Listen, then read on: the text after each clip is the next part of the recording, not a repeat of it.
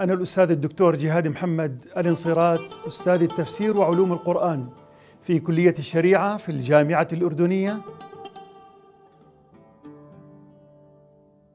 برنامج الدكتوراه في التفسير وعلوم القرآن ينفرد بتدريسه عدد قليل من الجامعات في المنطقة ويحظى بإقبال منقطع النظير من طلبة الدراسات القرآنية من دول العالم العربي والإسلامي ومن مختلف دول العالم. يتلقون العلم على أيدي هيئة تدريسية المشهود لهم بالكفاءة في هذا المجال. تتكون الخطة الدراسية لهذا البرنامج من إطارين رئيسين هما الإطار النظري حيث يدرس الطالب مساقات تتعلق بالقرآن وعلومه وقراءاته ولغته ومناهج تفسيره التحليلية والموضوعية والمقارنة وأصول التفسير وقواعده. وكذلك يتناول الشبهات التي أثيرت حوله قديما وحديثا. من خلال مساقات تتناول الاستشراق ومدارسه والحداثة واتجاهاتها فضلا عن موضوعات أخرى هامة للطالب في هذا البرنامج. والكلية في ذلك كله منفتحة على كافة الاتجاهات العقدية والمذهبية والفكرية وتستوعبها جميعها لأنها جاءت متوافقة مع رسالة عمان التي جاءت تدعو إلى الوسطية والاعتدال ونبذ التطرف. مع كل الطلاب من سائر أنحاء العالم العربي والإسلامي والأوروبي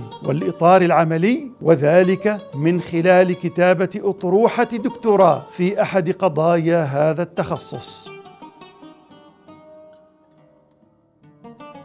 الطريقة المتبعة في التدريس في هذا البرنامج وفي برامج الجامعة بشكل عام تجمع بين المستويين النظري في أغلبها والعملي في بعضها الآخر من خلال التعليم التشاركي بين المدرس والطلبة حيث يقوم الطلبة في أغلب الأوقات بإدارة المحاضرة من خلال التحضير ومناقشة البحوث وعمليات العصف الذهني. ولا مكان أبدا للتعليم التلقيني في أروقة هذه الجامعة العريقة. وفي المستوى العملي يقوم الطلبة بتحضير البحوث النظرية والميدانية في كافة تخصصات هذا البرنامج ومناقشتها مع زملائهم إضافة إلى إتقان منهجية البحث العلمي السليم ونشر البحوث العلمية المحكمة في الجامعات المرموقة في المنطقة وفي العالم أسره. اللغة المستعملة في التدريس في هذا البرنامج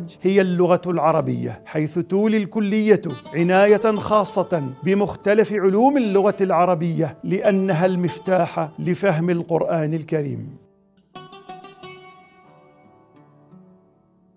يتوقع من الطالب عند تخرجه من هذا البرنامج أن يكون قادرا على فهم علوم القرآن الكريمة اللازمة له لتفسيره وعلى قيادة وإدارة الأجهزة والمؤسسات الدينية في العالم كله نرحب بكم جميعا لدراسة برامج التفسير وعلوم القرآن في الجامعة الأردنية.